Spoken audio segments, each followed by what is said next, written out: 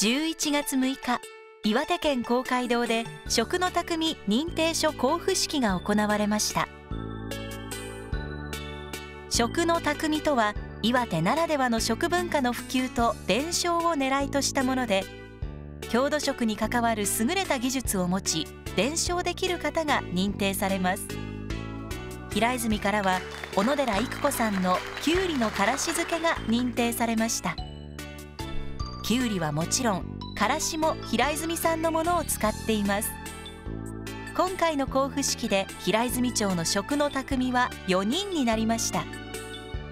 平泉で60年も前から作られてきたその和がらしに目を当てていただいたと思うんです。この和がらしをもっともっとみんなに伝えることができたらなと思ってます。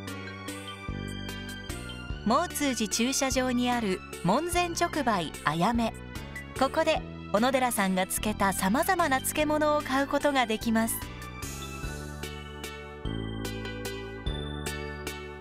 小野寺さんのきゅうりのからし漬けは平泉さんの和がらしを使った甘辛い味付け。ご飯にもお酒にも合う一品です。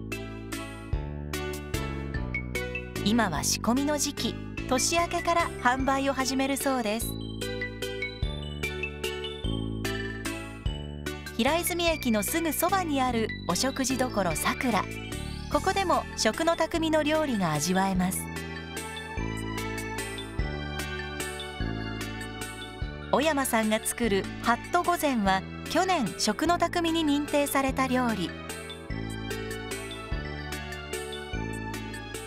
ハット汁重根生姜小鉢がついたお得なセット。